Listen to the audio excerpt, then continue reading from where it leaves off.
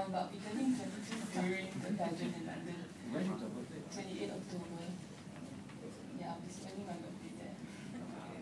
Happy birthday. And the actual event is the 6th isn't it, November? Yeah, 6 November. Or do you have any special connection with with with England or Canada or that something because because people that oh She's can, French, she huh? looks like Uh, Eurasian, there might be a special special connection with those places. Uh, no, not really, but um, I got the chance to meet Miss Singapore and Miss Thailand. So, yeah. Like your, your your family, they got family ties over there, they got relatives or something. my relatives are in a farm in France. They're not coming to Oh, watch me.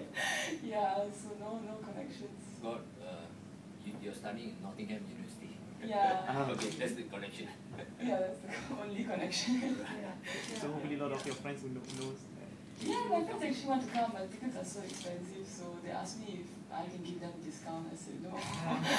yeah, but I might be meeting them after the